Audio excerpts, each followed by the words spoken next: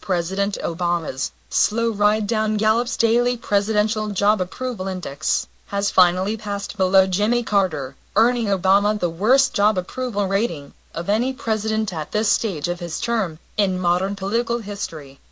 Since March, Obama's job approval rating has hovered above Carter's, considered among the 20th century's worst presidents, but today, Obama sunk below Carter's dismal job approval line. On their comparison chart, Gallup put Obama's job approval rating at 43%, compared to Carter's 51%.